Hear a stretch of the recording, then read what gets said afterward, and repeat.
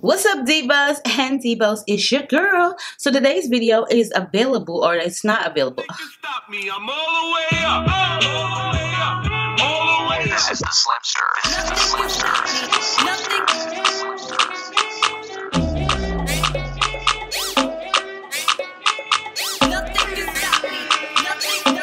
What's up divas and divos? So today's video is going to be one of those, you know, like really affordable wig videos.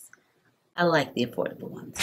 So this one is available at samsbeauty.com. You can check them out. And if you're looking for some makeup, you can also check there too. They got some makeup. They got some really nice stuff. You know, have you looking fleek and lit, if that's cool to say.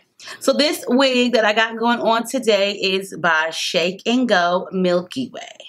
Okay, I have not really done a Milky Way wig in like forever, even though we already know that this is like sister company to like Freetress and all that good stuff. It's still a Milky Way. This one is Harmony, Harmony 114, and she is in the color SOP Copper. This is also a human hair master mix. But the cool thing about it is it has that that like light yaki texture, which a lot of us ladies of color love because it just mimics our hair so well. Plus, when it's like this texture, it doesn't tangle as bad as it's shedding right now, but it does also give more density to the wig. Like, thank God I got a garbage right here. And thank goodness I got a nice new brand new vacuum for Christmas that I can just vacuum up the hair with. The light yakiness of it makes it so much more fuller, which I really prefer, especially for straight wigs. I really do prefer them to be like that light yaki texture because they're just a lot more fuller. Plus, also the thing that I do like about it is it's a middle part, so you can definitely put it to the left if you want to be on the left,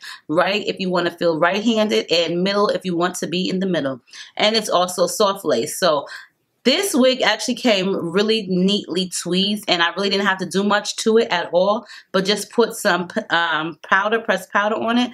I didn't really have to do anything. I think I took maybe like a couple of strands out and that was about it. It does have the two combs right here in the front and then there's also a comb and adjustable strap in the nape area. The cap is very like stretchable right here which is great so it does have a comfortable fit and like I said it's a copper color. The color that the girl is wearing on the website is really not that cool. It looks kind of choppy so don't go off of her picture.